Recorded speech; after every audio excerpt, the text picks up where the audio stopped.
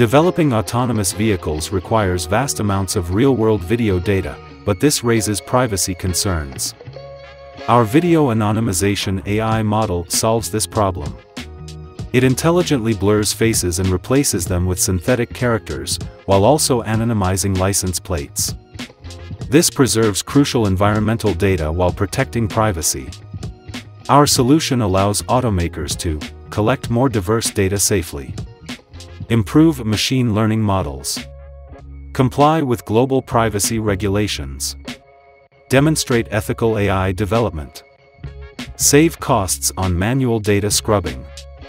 Accelerate autonomous vehicle development.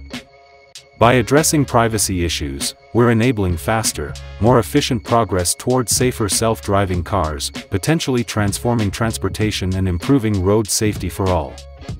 Reach out to info at gyrus.ai to learn more.